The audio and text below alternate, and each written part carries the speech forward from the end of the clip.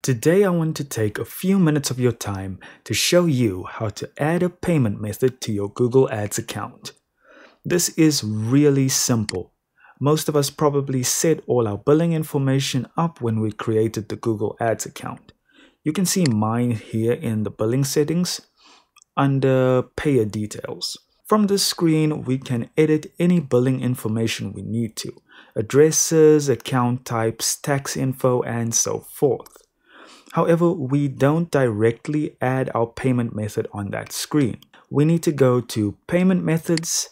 Here you can see mine is set up. Now we can add a backup or another payment method. Click on them and put on your debit or credit card details and hit save. The main difference between the backup and the other payment method is that when the primary payment method fails, Google Ads will immediately try to get the balance of the funds from the backup payment method. There you have it, quick and easy. Thanks for watching the video. I hope you found this video helpful and for more content like this, hit like and subscribe and after that make sure to have a beautiful day.